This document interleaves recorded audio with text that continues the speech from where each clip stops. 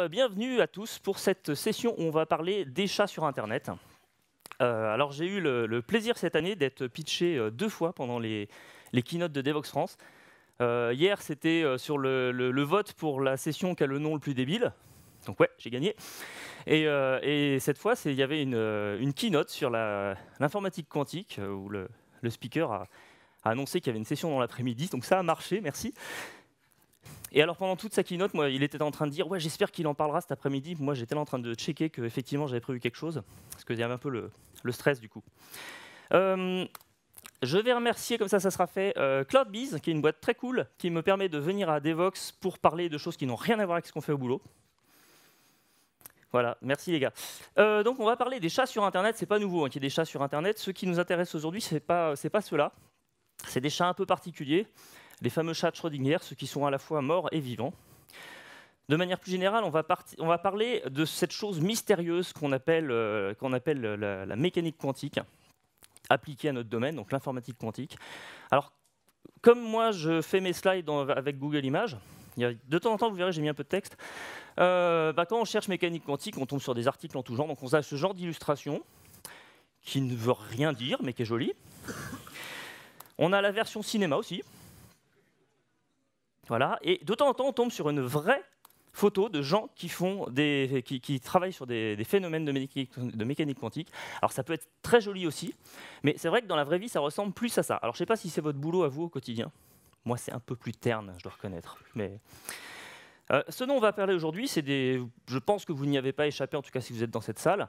Euh, c'est qu'on entend parler effectivement d'ordinateurs quantiques, d'informatique quantique, de cryptographie, cryptographie quantique, avec plein de, plein de quantiques à la fin dans des articles plus ou moins précis, avec des photos plus ou moins adaptées d'ailleurs, euh, et qui essayent de nous expliquer ben, que c'est l'avenir et que, tout le monde veut en faire, euh, sans forcément aller beaucoup plus loin. Alors pourquoi on en arrive là? Parce qu'il euh, y a une courbe en fait, qui suit un petit peu cette forme de chat, c'est la, courbe de progression de la, fréquence des processeurs, qui pendant des années a grimpé, et puis qui se heurte un petit peu à un mur, là, elle a du mal à progresser. Euh, la loi de Moore, la densité de, transistors dans une puce électronique, euh, ben, elle, c'est pareil. Elle est en train de se heurter tout simplement à la limite physique de la taille des atomes et des effets que ça a à très très courte distance. Et donc, on est en train de se dire, bah, si on veut des ordinateurs plus rapides, bah, là, on commence à avoir un problème. Alors, il y a deux approches. C'est d'avoir plein de processeurs, faire des calculs très très parallélisés. C'est typiquement ce qu'on voit sur les fermes GPU. Et euh, si on ne peut pas paralléliser sous cette forme-là, c'est le processeur magique. Donc ça, par exemple, c'est une illustration d'un article sur le processeur quantique qui ne ressemble pas du tout à ça. Euh, tout ça, en fait, c'est pas vraiment nouveau. Les travaux de recherche, évidemment, datent euh, bien avant les articles dans la presse. Il y a des articles qui ont démontré qu'une approche quantique du traitement de l'information permet de traiter un problème de manière exponentiellement plus rapide qu'une approche traditionnelle aux détails de techniques d'implémentation près, évidemment, parce que là, on parle quand même de l'architecture informatique qui a eu le temps de se stabiliser, versus les gars qu'on a vus au début qui sont dans leur labo avec des lasers. Il y a encore un petit peu de travail. Euh, la question est donc de comprendre, mais pourquoi est-ce que fondamentalement, on, arriverait à systématiquement être plus rapide? Euh, L'information dans un ordinateur, donc ce qu'on appelle un bit, c'est typiquement en gros un interrupteur. Il y a du courant ou il n'y en a pas il y a une charge dans un condensateur ou il n'y en a pas, des choses de, ce niveau-là. Dans le monde quantique, on a un truc foufou que les journalistes illustrent comme ça en disant on a de la superposition d'états avec des bits au milieu.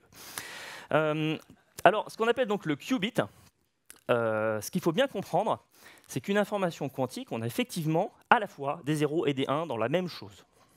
C'est on a vraiment cette notion de superposition, superposition on va en rappeler, en reparler. Oula, j'ai trop bu hier soir. Euh, et en fait, quand on veut extraire l'information, parce qu'au bout d'un moment, on a envie d'avoir un résultat, c'est pas pour le plaisir juste de faire des lasers de couleurs rigolos, hein. normalement on essaye de résoudre des problèmes, on est dans un domaine de probabilité.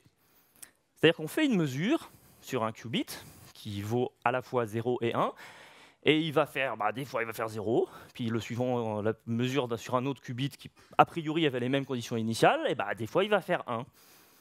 Et si on, est parti avec une probabilité équivalente, ben on va avoir 50% de chance dans un cas, 50% de chance dans l'autre. Donc on, a des belles courbes de probabilité. Et ce qu'on va chercher à faire, en fait, c'est à exploiter la capacité de la mécanique quantique à avoir ces deux valeurs en même temps pour faire des calculs qui, du coup, sont par nature ultra massifs, puisque toute l'information est superposée, et à être capable, en fait, d'orienter la mesure probabiliste pour euh, récupérer l'info qui nous intéresse. Alors, aujourd'hui, je n'ai encore plus que 42 minutes. Je ne vais pas avoir trop trop la possibilité de rentrer dans les détails des fondamentaux de, la mécanique quantique. Je vous encourage à aller voir deux chaînes sur YouTube. Il y a celle euh, de, Bruce Menamran, Y penser, et il y a aussi euh, la chaîne de David Loupart, euh, Science étonnante, qui font régulièrement des sessions. Celle que j'ai mis là, elle est sortie lundi, il me semble. Ça tombait super bien puisqu'on va en parler. Ils prennent un bon quart d'heure pour l'expliquer avec plein d'illustrations, les différents, différents points que je vais voir ici. Donc si vous pigez pas tout, c'est pas très très grave. Vous vous en voulez pas, de toute façon il n'y a pas grand monde qui pige. Euh, donc aujourd'hui on va parler de, euh, de Monsieur Heisenberg. Alors Heisenberg c'est lui avant d'être lui. Je précise. Hein euh, on va parler de ce qu'on appelle le principe d'indétermination, qu'on a malheureusement traduit par principe d'incertitude, ce qui donne des articles de journaux assez intéressants.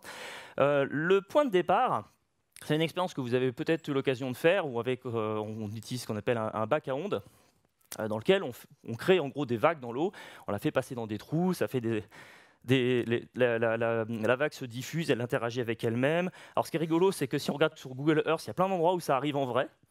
Peut-être que vous avez déjà eu l'occasion de voir ça quand on jette deux cailloux dans une mare, il se passe des trucs rigolos. Bon. Puis euh, en fait, il s'avère que bah, si on fait la même chose avec de la lumière, eh ben, on obtient la figure qu'on voit à droite ici, où on a ces, euh, franges d'interférence. C'est-à-dire qu'il y a des endroits où la lumière n'arrive jamais, et il y a des endroits où elle est particulièrement concentrée. Alors, c'est comme ça, effectivement, qu'on s'est dit, bah oui, la lumière est un phénomène ondulatoire.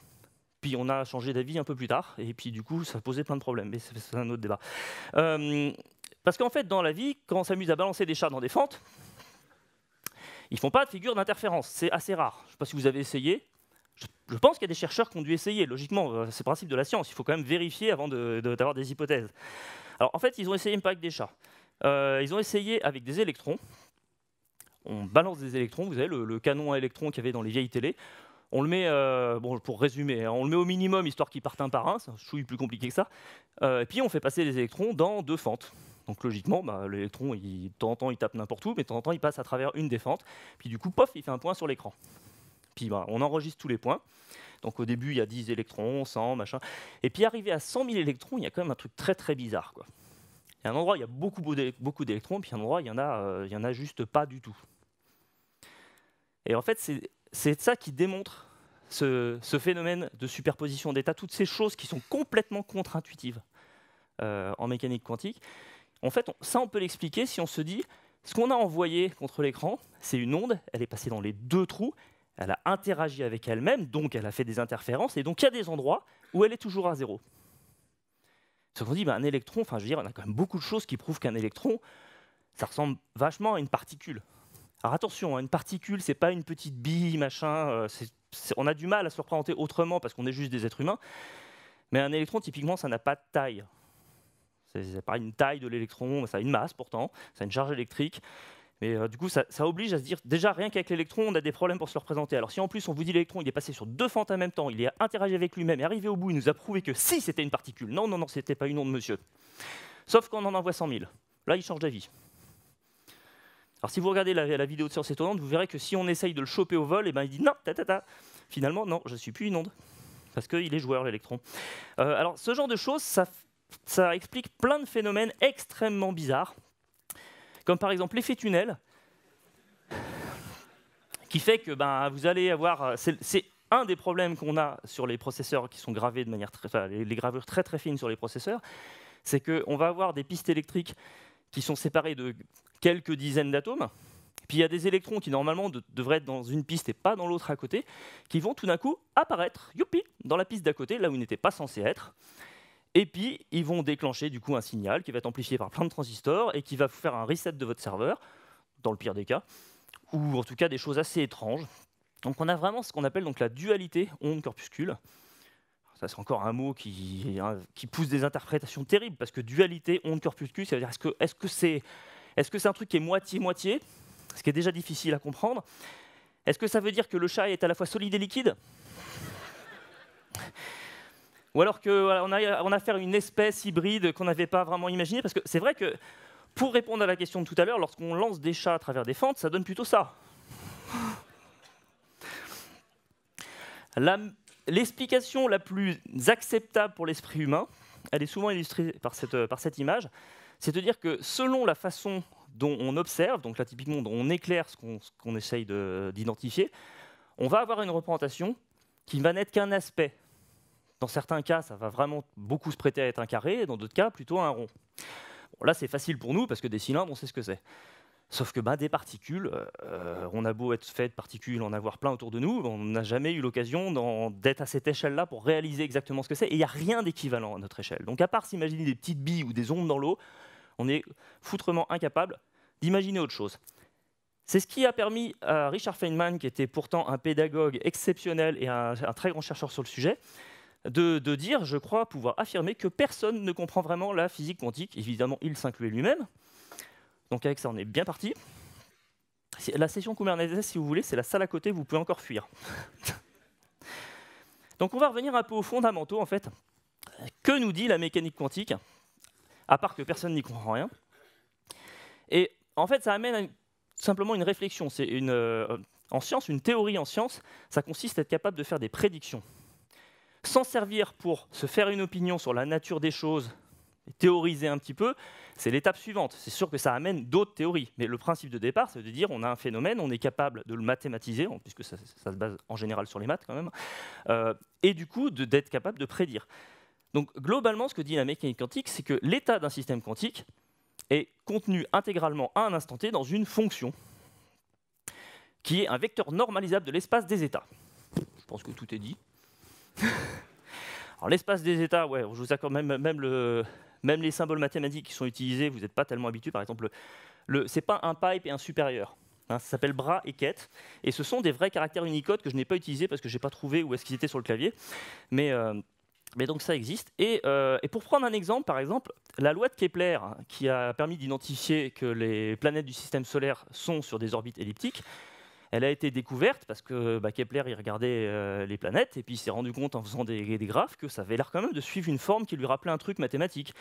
On n'avait pas encore la, mécanique newtonienne à ce moment-là pour démontrer pourquoi ce sont des ellipses. C'est vraiment cette approche-là. On est capable d'expliquer, de, prédire des phénomènes, de vérifier que ça marche bien, puis du coup, on se dit, bah oui, mais du coup, pourquoi? Chaque, chaque pourquoi euh, amène 25 pourquoi.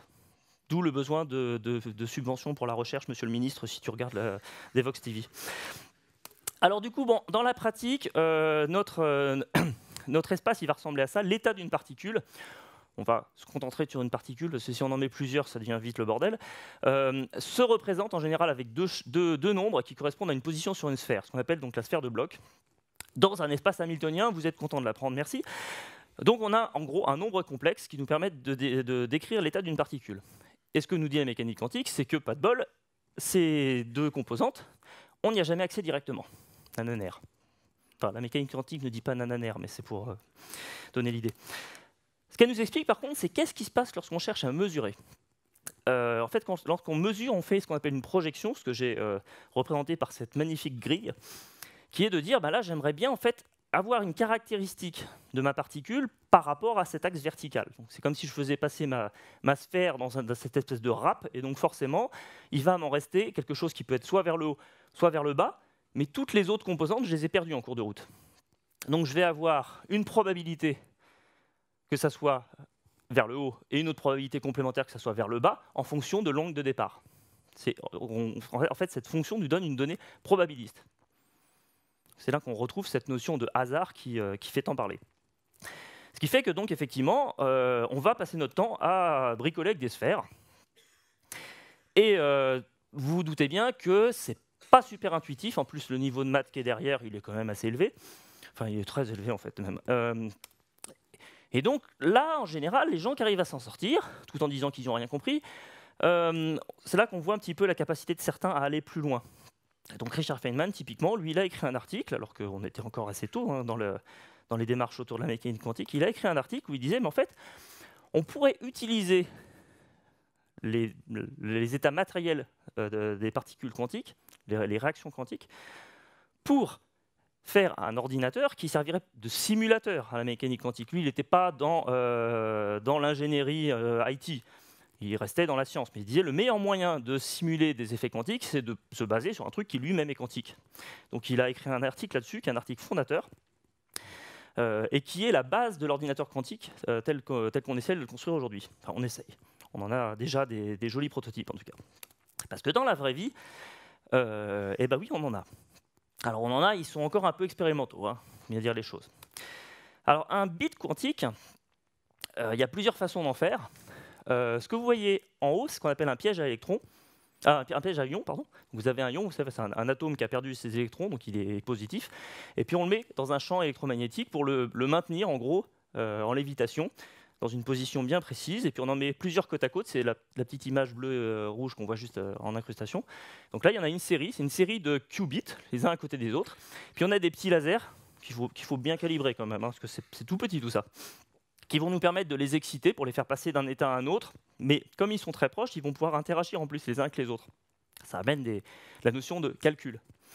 Euh, on a aussi la, la liaison Jackson que vous voyez juste en bas, où euh, l'avantage de cette approche-là, c'est qu'on est dans le domaine qu'on utilise depuis des années pour faire des processeurs. On est en train de faire de la gravure à l'échelle nanométrique. Donc effectivement, on peut faire euh, ce genre de choses où on va avoir des matériaux différents qui ont des effets. Ce qu'on voit sur la courbe, en fait, c'est qu'il y a un, creux d'énergie. Donc du coup, il se passe des choses à ce niveau-là.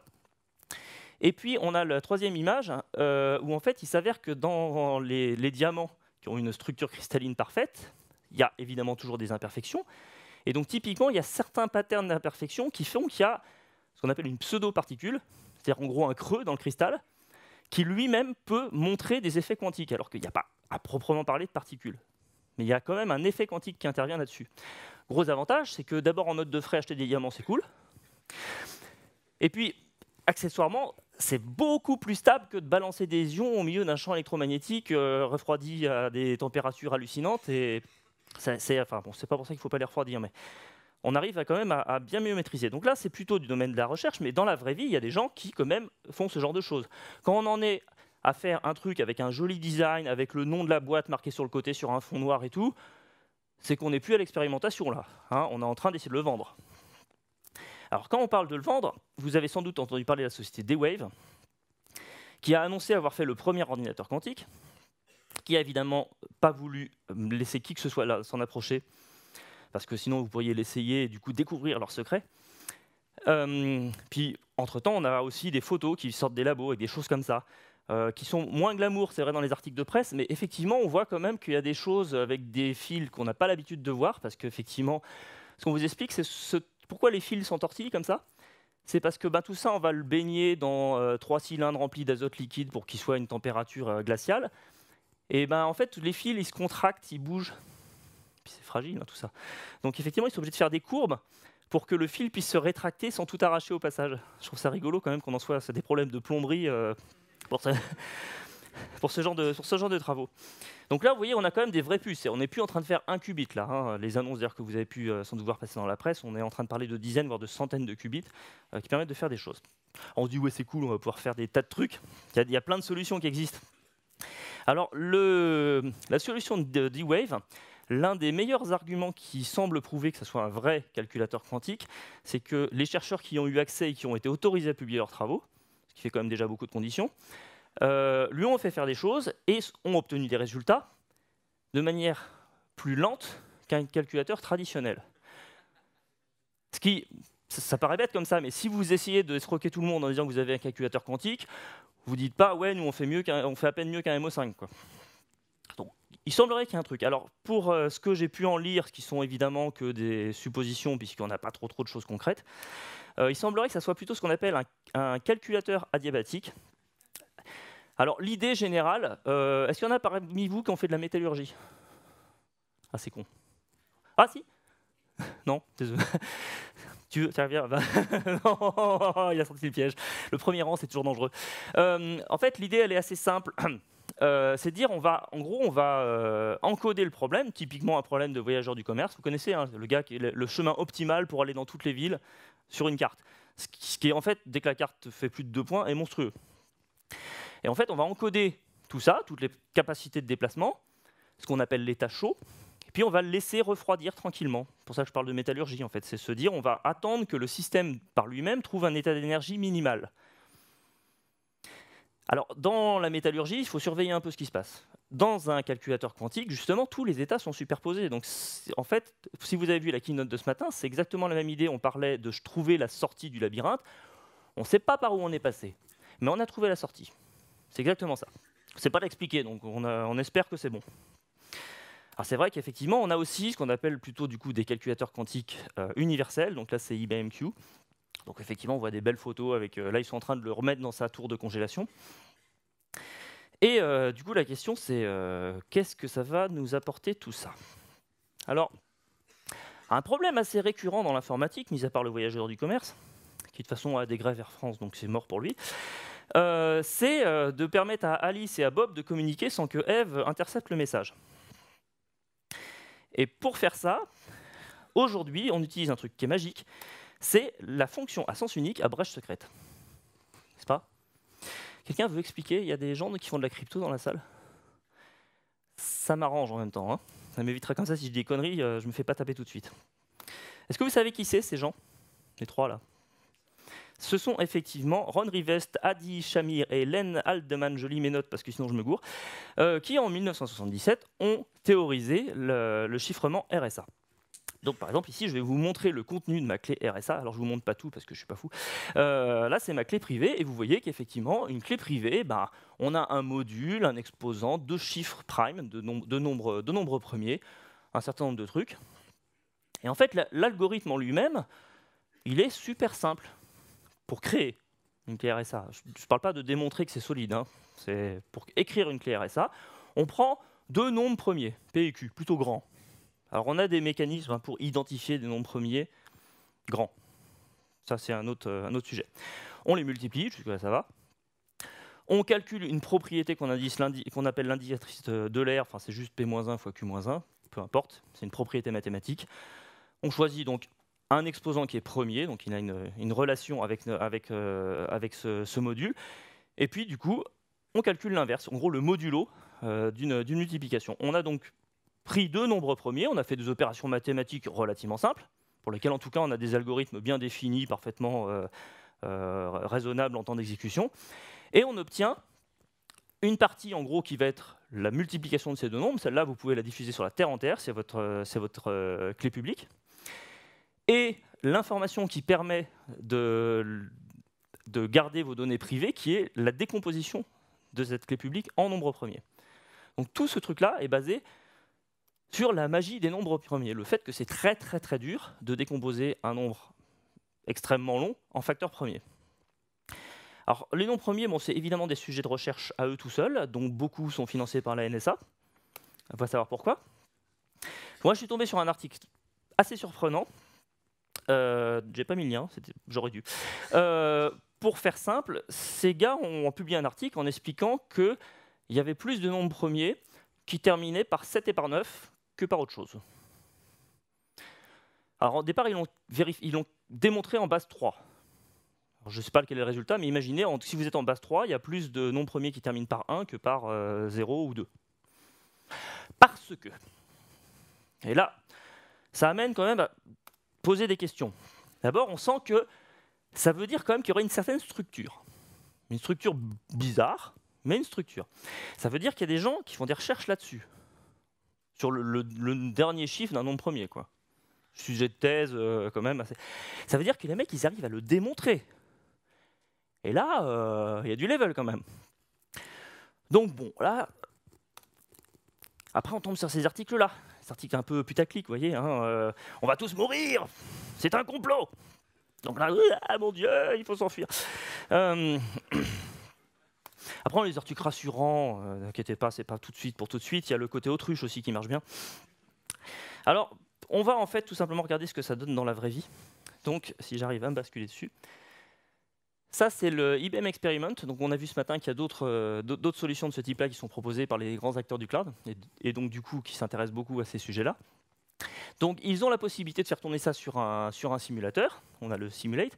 Et puis sinon, on peut aller faire tourner ça sur leur ordinateur à eux. Parce que de toute manière, le temps qu'on arrive à écrire un algorithme, je vous rassurer qu'il n'y a pas tant que ça de candidats pour, euh, pour faire avec. Parce que par exemple, je me dis, moi, je vais faire une opération. euh, alors, c'est marrant, je ne retrouve pas trop, trop les opérateurs auxquels je suis habitué.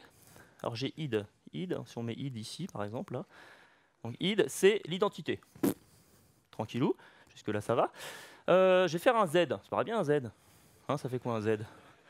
Alors un Z, c'est une polygate, c'est une rotation autour de l'axe Z avec l'inversion de X. Mais parce que rappelez-vous, hein, on joue avec des bouboules. Donc on les fait tourner, puis on la met à côté de l'autre, comme ça elle se cause un petit peu, puis après on les sépare, on les fait tourner dans l'autre sens, et puis euh, un- il y a un côté Rubik's Cube un peu. Sauf que le Rubik's Cube, on arrive à le faire hein, euh, quand on s'entraîne un peu. Là, il faut quand même un peu, un peu bosser. Alors il y en a un que j'aime beaucoup, parce que là, c'est celui-là, il m'a rassuré. C'est le, plus, là je peux le mettre là par exemple. Hop, je vais, essayer de le mettre. Le plus, je le mets là, voilà, et je vais aller, mais putain de Dieu. Essaye encore, essaye encore, là, là, voilà, et je vais le... Mais saleté, bon, bref. Ça, c'est, si j'arrive à le mettre, je ne désespère pas. J'essaie une dernière fois parce que j'ai pas peur. Je peux pas, bon tant pis. Euh, c'est une porte nord, no- note euh, non or, pardon. C'est de la logique booléenne. Un truc, on se dit, oups, avec ça, je peux faire des choses. De toute évidence, ça suffit pas. Mais là, ça me dit, on est en train de réécrire l'algèbre de boules, mais pas avec des booléens. Enfin, si, avec des boules, du coup.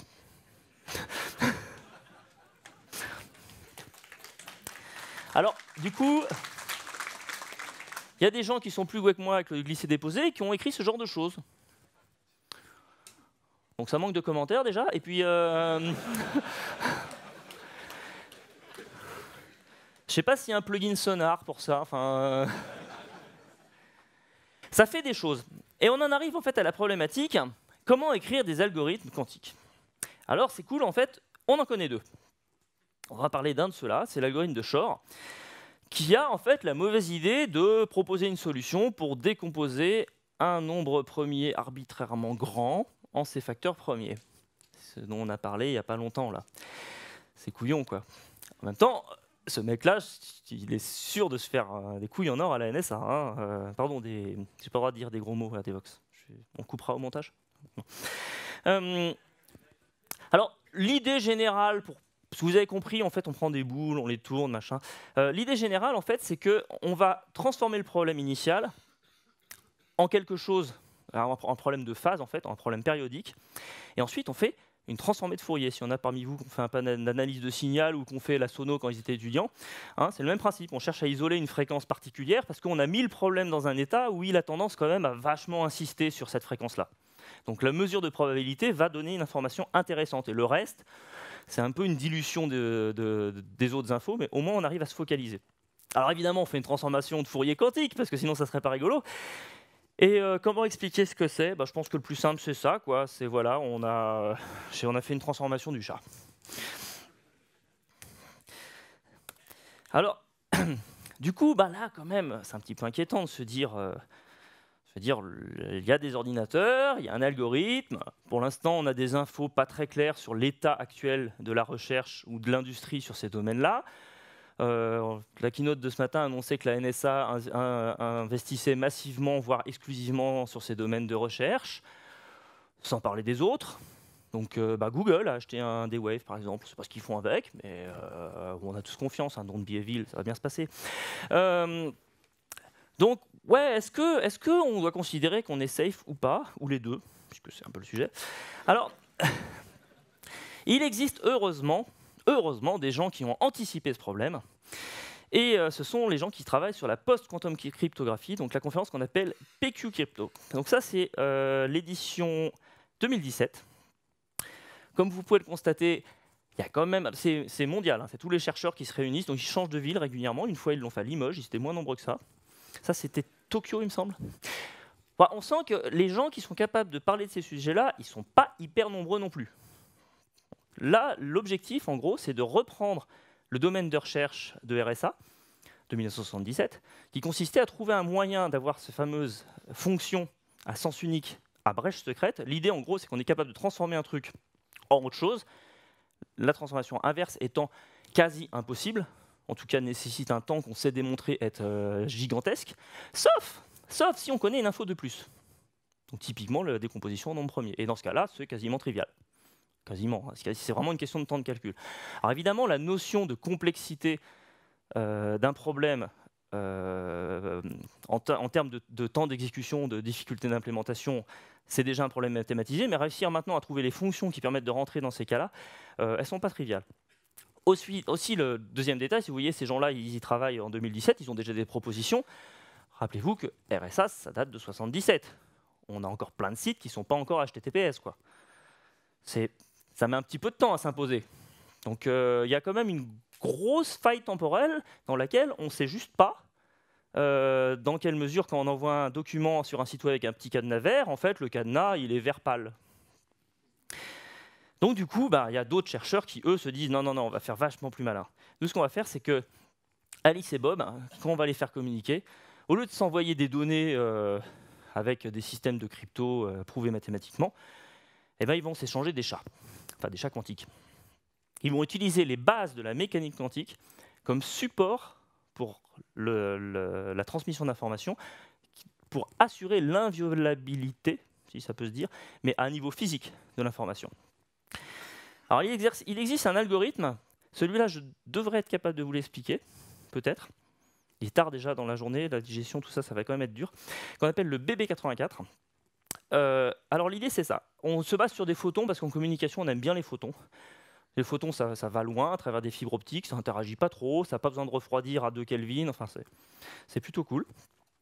Euh, et donc, euh, alors, ce qu'on cherche en général à faire dans ces cas-là, c'est à générer une clé de chiffrement. Une fois qu'on a une clé de chiffrement à usage unique, on communique sur un canal traditionnel avec cette clé de chiffrement. Mais là, celle-là, elle n'est pas symétrique. Je veux dire, on choisit juste un mot de passe monstrueux et on, se base dessus. Puis au prochain message, on en crée une nouvelle. Donc, euh, c'est le, la problématique est vraiment de créer une, première clé. Donc, le moyen le plus simple étant de balancer des photons. Donc là, on se base en général sur la phase du photon. Le, photon étant une onde électromagnétique, ou une particule, selon qu'il a envie, il a une orientation. Euh, et donc, on va envoyer des photons, donc qui représentent nos 1 et nos 0, à travers un filtre, un petit peu ce que les, filtres que vous avez sur vos appareils photo pour pas avoir de reflets, par exemple, qui vont dire bah, si euh, il est orienté verticalement, bah, en fait ça passe pas, et s'il est orienté euh, en diagonale, ça va passer. Ce genre de choses. Sauf que là où c'est rigolo, c'est que le filtre il tourne au hasard, comme si vous secouiez votre appareil photo. Ça fait des photos de merde. Euh, bah là, là, on balance des photons là-dedans. Donc on a des modes comme ça qui sont aléatoires. De l'autre côté, on a Bob, lui, bah, il reçoit des photons qui se sont fait un peu secouer, et puis il les secoue une deuxième fois. Parce que c'est ça le reggae, c'est une danse où on se... Euh, euh, et, en fait, après, ben, ce qui va se passer, c'est que si les deux filtres étaient dans le même sens, et que le photon était dans la bonne phase, il les a traversés tous les deux. D'accord si, si, les deux filtres n'étaient pas dans le même sens, bah, la mesure qu'a reçue Bob, par exemple qu'il n'a pas reçu de photon, elle ne contient aucune information. Parce qu'en fait, ce qu'il a mesuré, ce n'est pas une donnée qui lui a été transmise. Donc, en fait, l'idée, c'est de se dire qu'en faisant la mesure, on est incapable de savoir ce qu'il y, avait au départ. Donc on s'est transmis comme ça une série de photons. Donc Bob, il mesure, j'en ai un, j'en ai pas, j'en ai un, j'en ai un, j'en ai pas, j'en ai pas, j'en ai pas, j'en ai un. Et puis euh, Alice dit, bon alors moi, mon filtre, je l'avais mis en position mode 1, euh, mode 2, 45 degrés, mode 2 encore, mode 1, mode 2, mode 1, mode 1. Bon. Puis Bob, euh, il se dit, bon, bah, lui aussi, il a mesuré ce qu'avait fait son filtre, et puis il compare. Il se dit, ah bah c'est cool, il y a un certain nombre de mesures pour lesquelles on avait la même chose. Donc ces données-là sont significatives. D'accord? Donc il va pouvoir se baser dessus pour commencer à considérer qu'il a reçu des informations que lui seul connaît. Maintenant, que se passe-t-il? Pardon, j'avais raté un slide.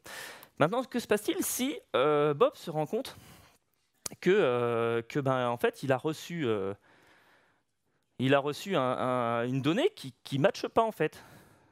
En fait, ce qui se passe, c'est que Alice a donné l'ensemble de ses dépositions de son filtre, puis a dit, bon alors, celui-là, on était d'accord dessus, en fait, moi, je t'avais envoyé un 1. Puis l'autre, il dit, bah non, bah, c'est bizarre, moi j'ai reçu un 0. Qu'a-t-il bien pu se passer Mais oui, vous l'avez deviné. C'est Eve qui est au milieu, qui a intercepté le photon, qui a fait semblant d'en réémettre un, parce que c'est vachement dur de copier des photons. Et qui, du coup, bah, à falsifier le message. Alors après, c'est pas forcément Eve, hein, ça peut être, euh, c'est comme en réseau, hein, des paquets perdus, des machins. À un moment, il faut quand même faire passer des, photons dans des fibres optiques sur plusieurs kilomètres, donc il y en a forcément qui passent à la trappe. Mais en fait, on utilise des mécanismes euh, de renforcement, justement, qui permettent de dire, bah, sur l'ensemble de ces données-là, on en sacrifie un certain nombre, et euh, en fait, de manière exponentielle, en fait, la confiance qu'on a dans les données progresse. Donc il arrive un moment où on se dit, bon là, au détail technique de perte de paquet près, il n'y a pas quelqu'un en train de nous écouter. Ou en tout cas, de toute façon, il n'aura jamais eu tout le message. Donc on peut effectivement, on a une suite de bits qu'on s'est échangés, que personne d'autre n'a pu intercepter, sur lequel on va pouvoir se baser comme clé secrète pour envoyer d'autres messages sur Twitter. Un, réseau particulièrement fiable. Donc ça, effectivement, c'est mis en œuvre pour communiquer. Euh, aujourd'hui, il y a des solutions industrielles hein, qui se basent là-dessus. En général, pour faire des communications bancaires, euh, des boursières, des choses comme ça, où on aime bien avoir de la sécurité. Euh, et puis après, il y a l'étape suivante. En 12 minutes, ça va être chaud. C'est ce qu'on appelle l'intrication quantique. Alors cette image n'est pas un montage. Il y a des chercheurs qui sont assez tarés, parce que comme quoi il n'y a pas que moi qui fais ce genre de choses, euh, pour faire une expérience d'intrication en utilisant un masque en forme de chat lorsqu'ils projettent leur laser, parce que c'est tellement plus joli de montrer que le chat est passé de droite à gauche. alors, ce dont on va parler, euh, c'est du spin. Un peu court. Bon, je vais assez rapidement. Euh, je vous ai dit, un électron, ce n'est pas une boule. Pas du tout. Sauf que dans certaines expériences, quand on prend un atome d'argent, qui a la, caractéristique d'avoir un nombre impair d'électrons, donc ils n'arrivent pas à se mettre tous d'accord pour une direction donnée, ils sont obligés de choisir, il y en a forcément un qui départage.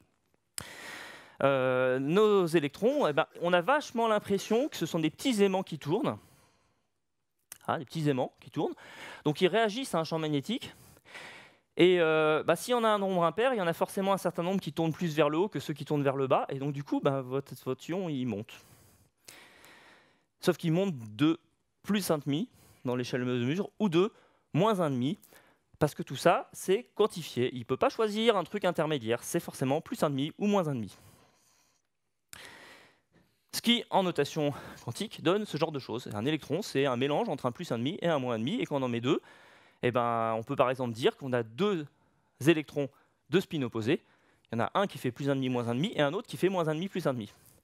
Rappelez-vous, superposition d'états, tout ça, ils font les deux en même temps, tant qu'on n'a pas mesuré. C'est pas juste, ils ont choisi avant, ils sont mis d'accord en prenant une bière, et puis ensuite ils viennent faire l'expérience. Attends, on va pas lui dire. ah bon. Non, non. C'est vraiment, euh, tant qu'on n'a pas mesuré. En fait, on a des expériences hein, d'ailleurs qui le prouvent qu'il euh, y a effectivement une superposition de ces deux états. On ne va pas rentrer là-dedans parce que ça sera un peu compliqué. Et donc, du coup, bah, il y a des gens qui s'appellent euh, Einstein, Polinsky et Rosen, en tout cas le premier, vous avez déjà entendu, qui ont dit en fait, c'est problématique ça, parce que si, effectivement j'ai pris mes deux électrons, je les ai laissés se causer une je les ai mis dans une situation où je sais qu'ils sont opposés. Comme ça. Tout en sachant que chacun est soit comme ça, soit comme ça, mais en tout cas, c'est toujours opposé. Je les sépare. J'en envoie un à, toi là-bas au fond. Tu le. Hop, merci. C'est bon, tu l'as eu. Et euh, bon, on peut même attendre un certain temps.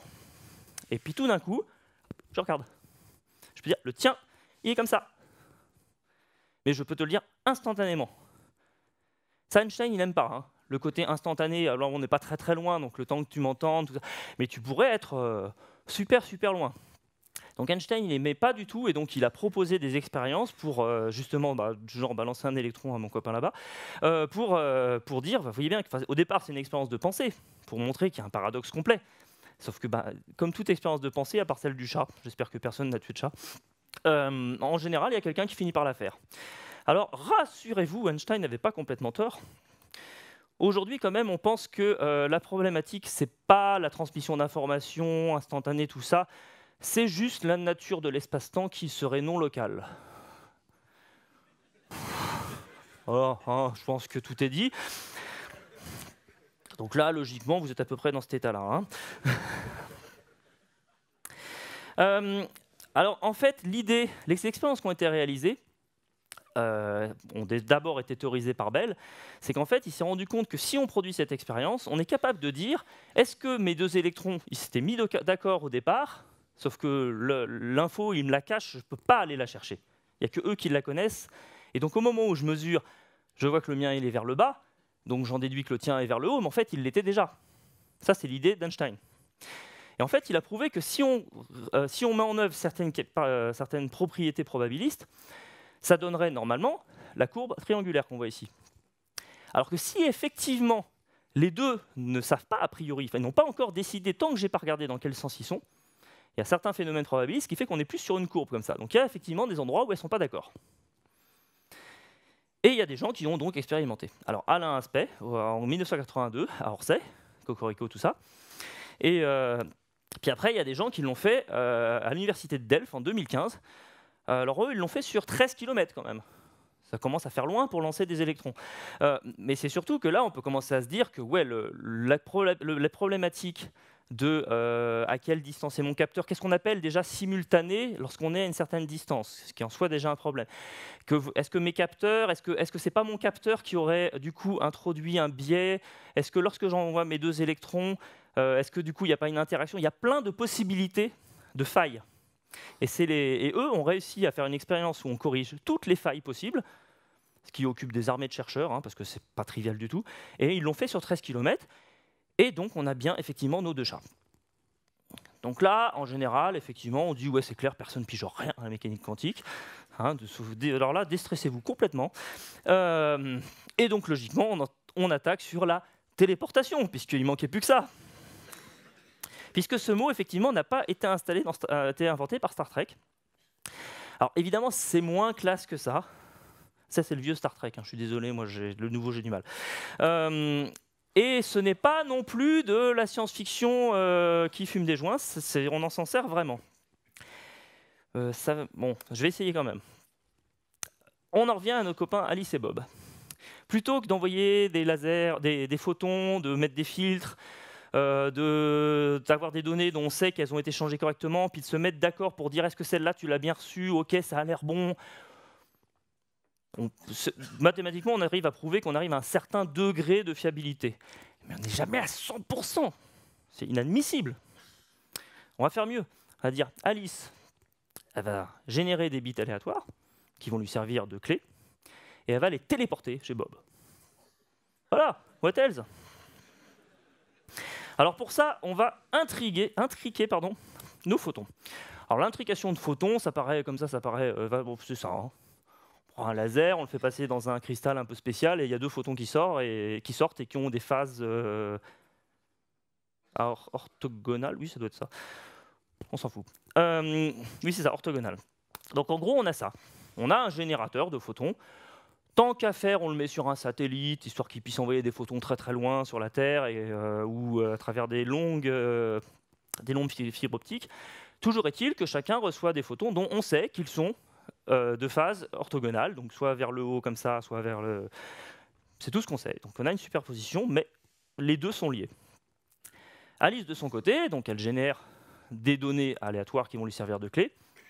Elle fait interagir son photon à elle, donc l'orientation de la phase de son photon, c'est le 1 ou le 0, avec cette paire intriquée. Donc là, il se passe un phénomène que les deux se mettent d'accord sur des choses entre eux, ils font leur petit, euh, leur petit nuage quantique et en, gros, les deux sphères se sont rencontrées et finissent par avoir une relation euh, systématique l'une avec l'autre. Et puis là, bah, Alice, met un capteur. En gros, elle regarde, j'ai un capteur comme ça, un capteur comme ça. Est-ce que je reçois un truc comme ça, ou bien est-ce que je reçois un truc comme ça? Ou est-ce que je reçois rien, ou est-ce que je reçois les deux? Parce que ça dépend dans quelle, dans quelle phase s'est orienté tout ça. Sauf que qu'est-ce qui s'est passé pendant ce temps du côté de Bob? Rappelez-vous son photon qui partait vers chez lui? Tout ce qui arrive au photon de Alice arrive aussi au photon de Bob. Certes à l'opposé, mais peu importe. Il arrive aussi, quelle que soit la distance, et de manière totalement inviolable. Parce que si n'importe qui fait quelque chose entre les deux, c'est l'effet inverse. On, brise l'intrication. S'il arrive quelque chose au photon de Bob, ça casse aussi celui d'Alice.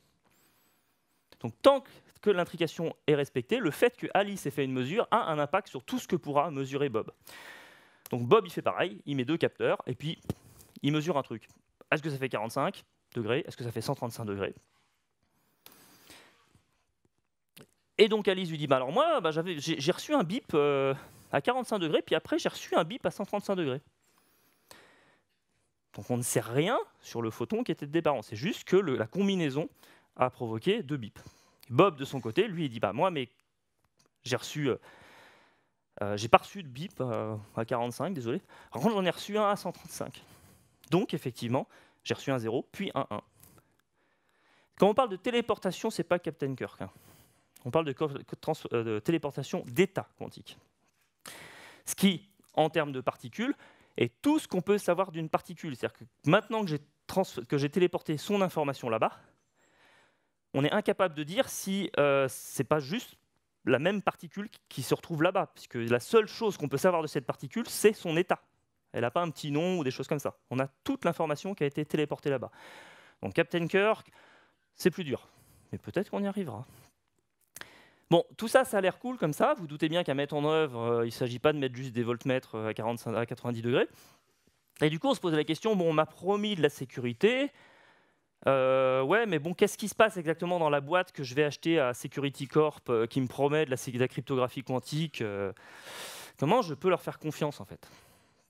Et donc là, rappelez-vous, hein, notre copain Bell avec ses inégalités, il va pouvoir vous dire, ben, vous, pouvez faire des mesures statistiques. Et tant que vous dépassez le seuil du paradoxe EPR, vous êtes face à un phénomène quantique.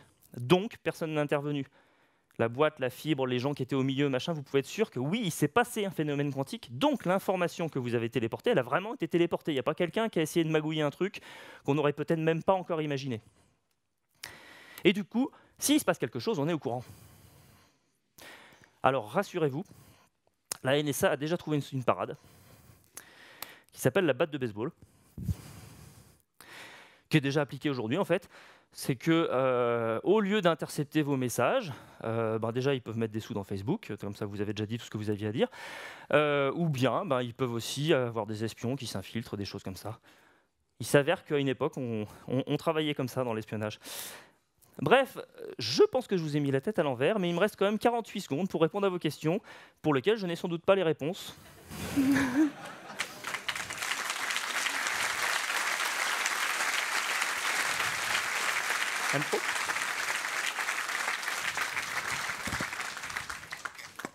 Alors une question quantique.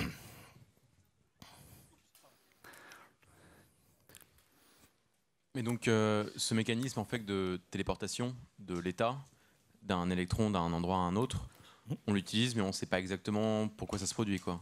Enfin on a du mal à expliquer que euh, l'information se retrouve instantanément Alors, à un oui. autre endroit. En fait, ce qu'on a, ce qu'on sait démontrer, par toute l'expérience qu'on a de la mécanique, quantique, c'est on sait l'expliquer en termes mathématiques, même si intellectuellement ça pose des gros problèmes de visualisation.